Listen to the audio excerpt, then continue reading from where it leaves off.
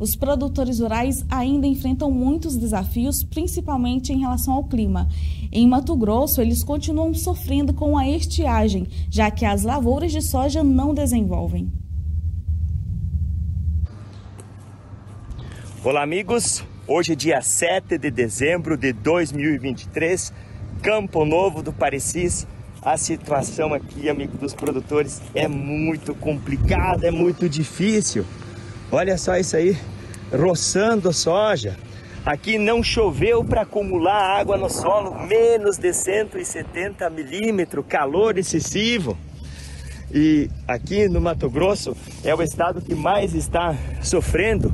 Aqui tem áreas que nem foi plantada, tem áreas como esta que nem vão ser colhidas, tem áreas que perdeu metade da produção, tem algumas manchas melhores, é muito manchado, a chuva de manga, lugar chove, lugar não chove, no mesmo talhão. Ó, esse talhão aqui, aqui onde é que nós estamos, perca total.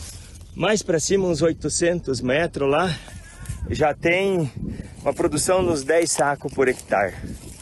E é assim, amigos, uma indústria céu aberto. E o Brasil esse ano vai perder muita produção. Vamos continuar o nosso giro pelo Brasil e vamos trocando ideias, amigos. Aquele abraço.